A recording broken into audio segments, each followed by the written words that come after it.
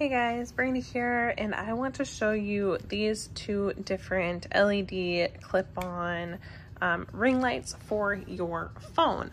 So this one here, you just attach straight onto your phone and then there is a button there on the back where you can turn it on and off and that is how you switch through to see the different brightness that you need and there are three different brightnesses.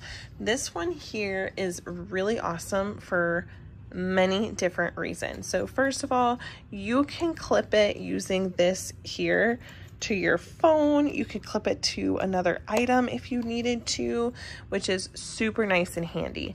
On the back, you have this adjustable um, spring loaded clip as well. So you can actually clip this to the front or the back of your phone and you can take this light everywhere and anywhere. It has a battery check light.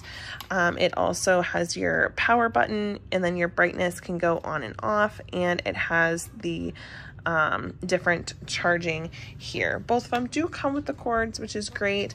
Um, overall, if you are picking one over the other, I would 100% hands down go with this one because it is brighter and uh, better quality. They both work, but this one you'll have better results with.